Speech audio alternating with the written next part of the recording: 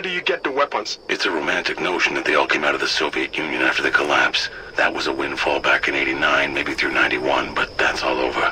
I move weapons, I profit from circulation. You get a ceasefire in Liberia, both sides disarm. You think they slag 2,000 tons of guns? No. They sell them to me. I resell them wherever the next war is starting.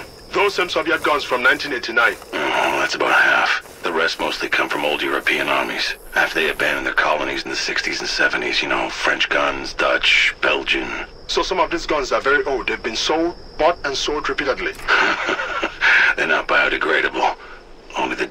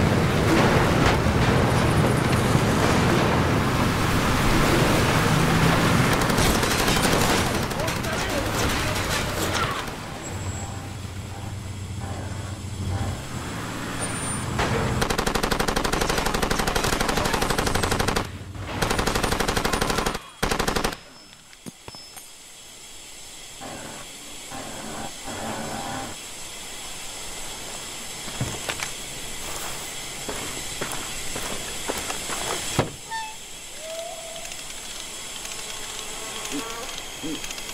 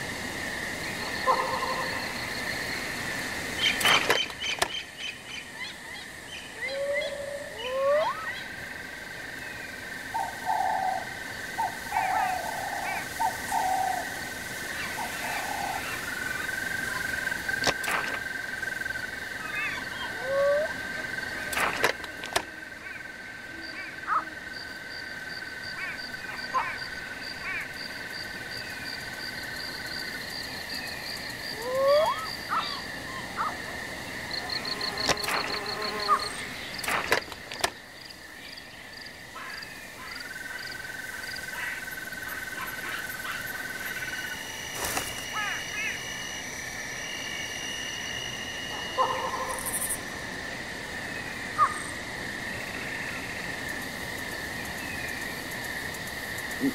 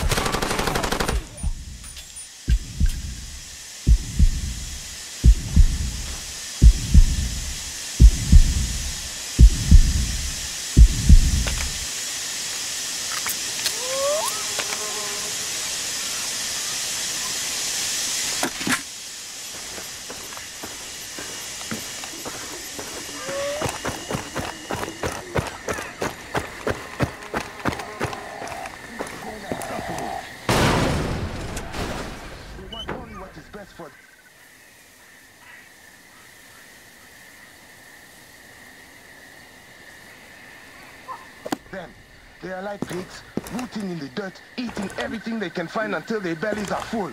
They want only to dominate, to plunder and defile this beautiful land, to sell away everything to the highest bidder.